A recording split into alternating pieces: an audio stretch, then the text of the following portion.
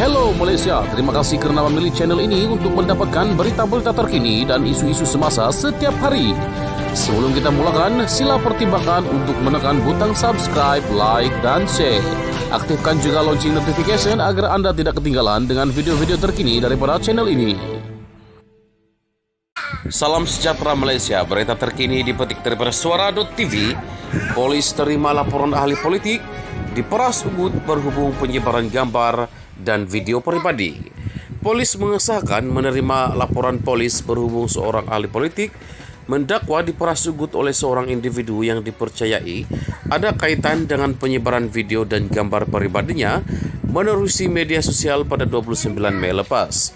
Ketua Polis Daerah Nilai Sab Muhammad Fazli Abdul Rahman berkata, siasatan awal mendapati ahli politik itu diugut melalui panggilan telefon supaya mendepositkan sejumlah wang ke dalam akaun bank individu berkenaan.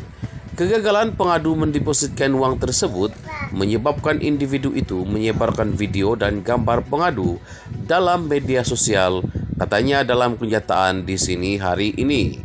Katanya, kes disiasat menurut Seksi 384 Kanun Keseksaan kerana melakukan pemerasan dan polis sedang menjejaki suspek yang dipercayai mewujudkan akaun media sosial palsu yang kemudian dipadamkan bagi menyebarkan video dan gambar mangsa.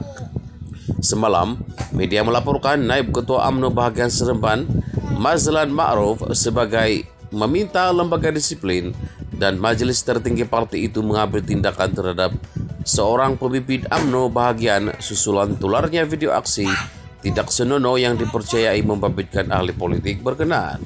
Sekian berita, salam sejahtera, bye-bye.